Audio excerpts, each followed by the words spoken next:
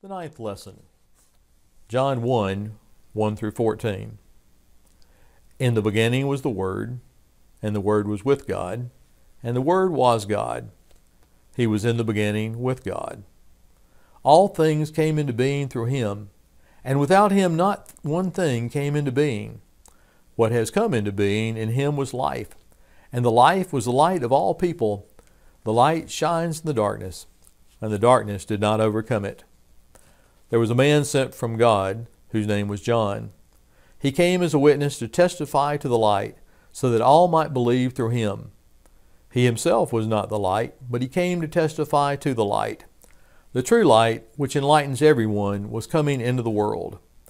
He was in the world, and the world came into being through him, yet the world did not know him. He came to what was his own, and his own people did not accept him.